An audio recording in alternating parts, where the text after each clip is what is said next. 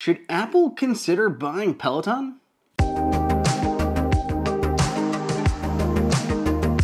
Welcome everybody, welcome my favorite people to AppleInsider. It is Andrew here and you can find me on Twitter at Andrew underscore OSU. If you haven't already done so, be sure to subscribe and turn on notifications so you don't miss a single video.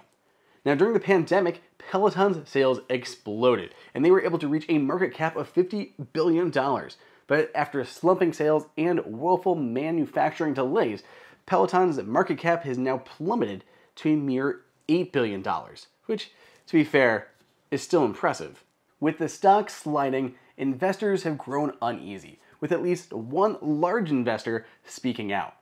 Blackwells Capital, which owns 5% of Peloton, has went on the record writing a letter that the CEO of Peloton, John Foley, should immediately be fired and Peloton should explore sales to other companies such as Apple, Nike, Sony, and Disney. Since then, John Foley has stepped down and announced several job cuts coming to 20% of Peloton's workforce. Rumors have started to swirl that three big players have come under the radar as possible suitors for Peloton. It started with Amazon as being one of the most likely suitors for Peloton, with them exploring a bid to buy out the company. It followed that Nike may as well be interested, and Apple has also been put into the mix. Especially with Amazon in the running, it makes all the more sense that Apple should at least explore buying Peloton. If you were unaware, Amazon is one of the biggest competitors for Apple. They have their own line of Fire tablets, they have their Fire streaming TV sticks, and there's a whole bunch of competition between them in the smart home space between Amazon's virtual assistant, Siri, HomeKit, and all of that and it's very unlikely that Apple wants to see Amazon grow even larger with this large foothold into the health space. Amazon has been reaching into the health space with new wearables and Fitbit-like products. We've seen the uh, the Halo band that we reviewed here on AppleInsider, and there's many others that they've been exploring. So it's just more reason that Apple should be looking at Peloton. Peloton does seem to be a good fit, at least theoretically, for Apple.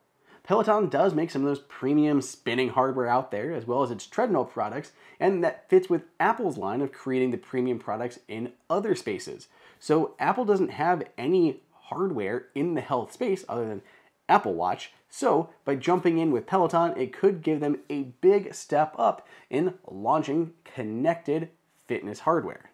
Peloton could also bolster sales of Apple Watch and Apple Fitness Plus and help entrench Apple further into the living room.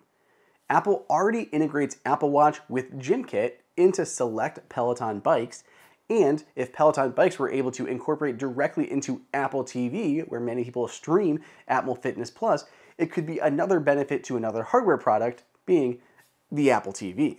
While it does seem Peloton could be a good purchase for Apple, it's also important to be cautious. Apple has been hesitant in the past to buy out large companies. In fact, the last large purchase and acquisition from Apple was Beat back in 2014, which was valued at around $3 billion. With a current valuation of 12 to $15 billion, Peloton would be five times the cost of Beats. That's not to say Apple won't make a large purchase like this. Tim Cook himself said that Apple would be doing large acquisitions if it made sense. So Apple will spend the money if it needs to, it just doesn't do it all that often. Peloton would be a big manufacturing overhaul for Apple as well. Apple would have to move from manufacturing things like iPhones, iPads, and maybe large Macs to a large fitness bike that is a lot larger and heavier to ship. Apple would have to deal with the entire manufacturing and logistics process, which may be more than it wants to deal with. That said, it could also still run Peloton as its own company and just largely help out where it can and integrate Peloton into its products and services that it already offers. It doesn't seem like it's likely that Apple will necessarily buy Peloton, but it does make sense in a lot of ways. I would be surprised if Apple bought Peloton, but I can't say I wouldn't be excited if they did. Let me know what you guys think down below in the comments or over on Twitter at Andrew underscore OSU. Otherwise, stay tuned. Be sure to be subscribed and have those notifications turned on.